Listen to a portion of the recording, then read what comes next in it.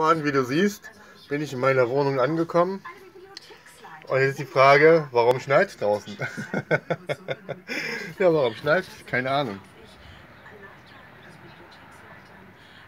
Aber es tut's. Wieder April. April, April, er macht, was er will. Wollte ich nur dir schnell mal zeigen, ja? Nee, 50er Jahre sein, ja. Also ich kaufe die immer gerne in Frankreich, Warum? weil es die da gibt viel.